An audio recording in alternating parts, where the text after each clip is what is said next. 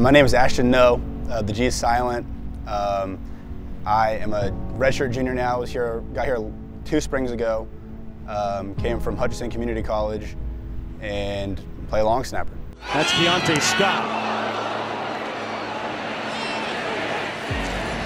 Scott hit immediately at the 25-yard line. Great downfield coverage by the Razorback special teams. Ashton Ngo. Yeah, so I mean that day was just kind of uh, crazy to me. It's all almost like a blur because, you know, I woke up uh, that morning, went to class, got back home, took a little nap, and I got a text on my phone uh, from Coach Fallon saying meet me in my office. And then we got in a team meeting, and out of nowhere, Coach Pittman just put me on scholarship, and it was just a surreal moment for me. Last thing I want to say, and I never do this much, but I'm gonna put Ashton Ngo on scholarship.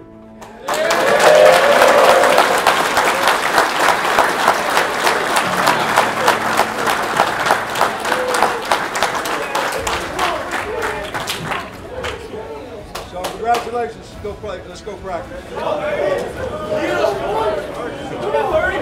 In that one moment, I kind of felt like everything was finally paying off, and just so many emotions at once. Everything happened so quick. I had no idea what was going on. We had meetings right before practice, so I actually didn't tell my parents until after practice. Um, but they were stoked. They were excited. Uh, it was really a great moment for us because, like I said, it felt like we were able to.